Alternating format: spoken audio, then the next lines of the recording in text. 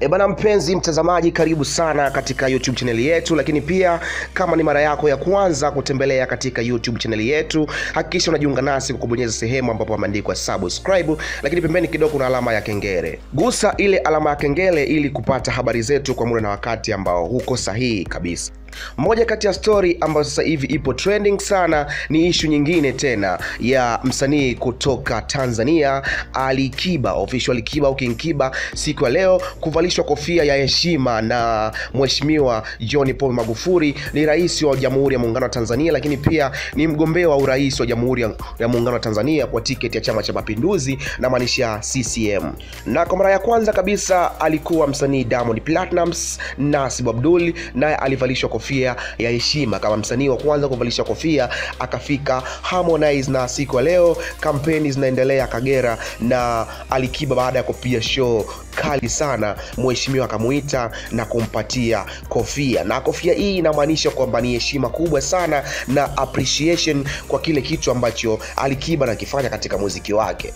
Ifahamike kwamba mara ya kwanza Dodoma uh, walifanya show wote wasanii wakawekwa meza moja, na mheshimiwa wa Jamhuri ya Muungano wa Tanzania John Pombe Magufuli akasema kwamba CCM ni sehemu ya kuunganisha watu. Tumeona siku ya leo wamekaa pamoja Alikiba, Diamond Platnumz na Harmonize, japokuwa mara kadhaa wanahusishwa kama wana migogoro, lakini CCM inaunganisha wasanii wote wawe kitu kimoja.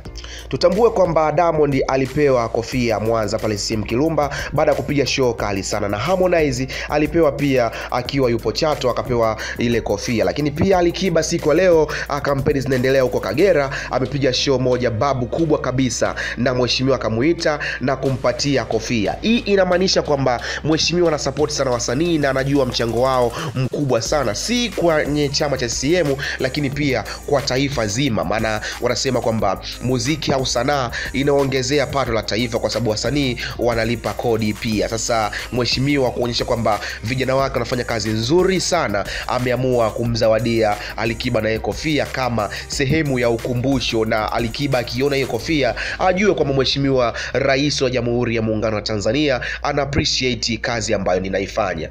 Kwa Diamond, yeye alivyopata ile kofia akaichukua akaiweka kwenye kabati lake la tuzo, na akaamini kwamba ile kama tuzo ambayo amepewa kutoka kwa mheshimiwa wa Jamhuri ya Muungano wa Tanzania, lakini pia ni mgombea wa Chama cha Mapinduzi cha CCM katika awamu yake ya pili, maanake kuna awamu mbili uh, kutokana na ilani ya chama. Inasema kwamba miaka ni ile ile kumi, yani miaka mitano ya kwanza na miaka mitano ya pili. Sasa tunatambua kwamba uh, mheshimiwa ame appreciate kwamba hawa ni wasanii wakubwa sana Tanzania mpaka akamua kuwapa kofia, na kitendo cha kuwapa kofia au kuwakabidhi kofia inamaanisha kwamba yeye ana bias na mtu au ambagui mtu wowote, na wote anawachukulia kama vijana wake sawa kwa sawa, hakuna aliyozidi na wala hakuna ambaye amepungua. Maana tunaona Diamond alipewa na Harmonize ikapewa, lakini pia na Alikiba kapewa. Na mimi mara ya kwanza nilikwambia hapa kupitia the title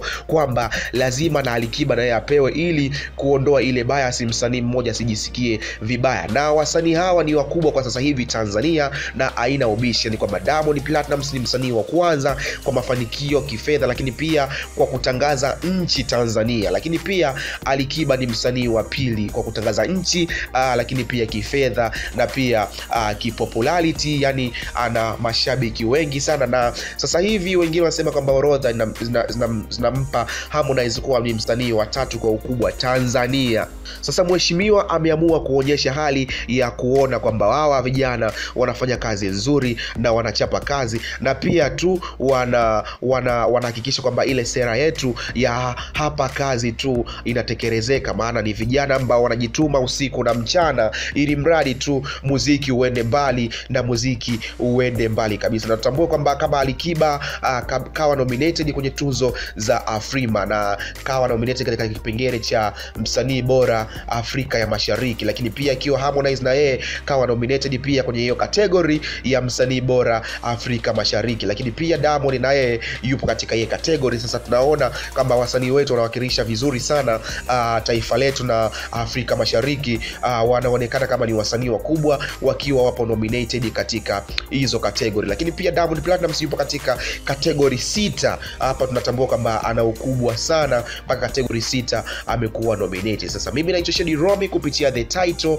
hapa TV, lakini pia cha msingi drop your comment hapo, tuandikie maoni yako. Unahisi kwamba uh, ni kitendo hiki uh, kina maana gani kwa mheshimiwa rais, kwa wasanii uh, na mheshimiwa rais anawapenda wasanii wetu kwa asilimia ngapi, na msanii gani kati ya watatu ambao wewe unamkubali sana kutoka Tanzania? Mimi naitwa ni Romi Mr Confidence 360 au kiniita boyfriend bora Tanzania. BBT itakuwa umetisha kinoma noma. Endelea kusubscribe, kushare, kulike na kucomment, lakini pia usisahau kuclick ile button ambayo ina alama kengere kuwa mtu wa kwanza kabisa kupata habari zetu hapa Tanzania na nje ya Tanzania zusuzu burudani, e, michezo, lakini pia exclusive interview zote zipo hapa kupitia The Title. Asante sana kwa wewe ambaye unaendelea kusubscribe na kuangalia video yetu. Mungu akubariki kabisa. Muda mwingine na wakati mwingine tukutane.